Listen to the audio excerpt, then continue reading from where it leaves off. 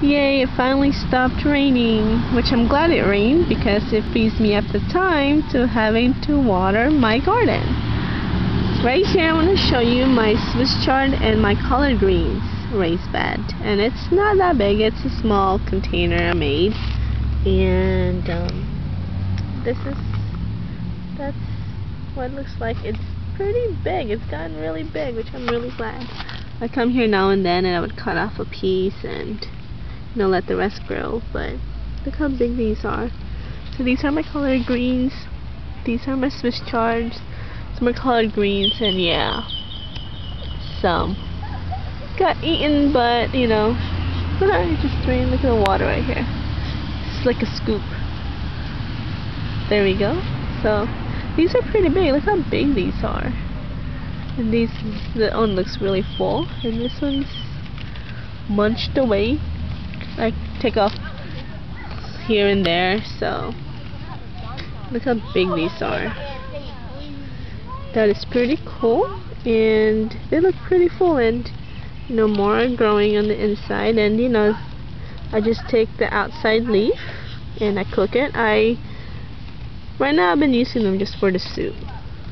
I love soup so and these are very good in soup. So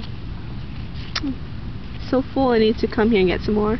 This one had to cut off the edge of it because um, I think the sun, the heat, just really burnt it. So instead of taking off the whole leaf and throwing it away, I just cut off that piece and eventually when it's time for me to make a soup, I'll just come here and take this one. So, which I will soon.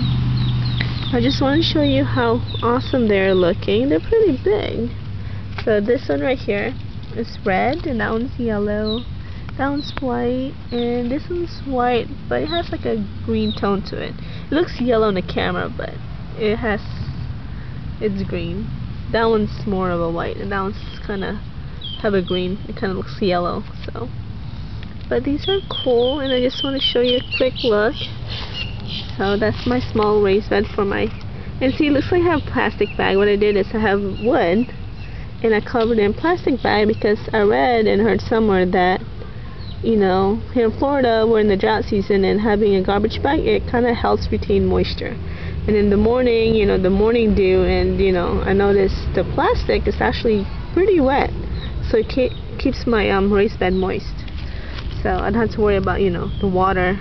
So I just want to show it to you and from time to time I would cut up a piece here and there. And I need to harvest soon though. Because these are really looking full. Of course I always get the outer leaf. So the inner leaves will grow and get big and produce more leafy vegetables so.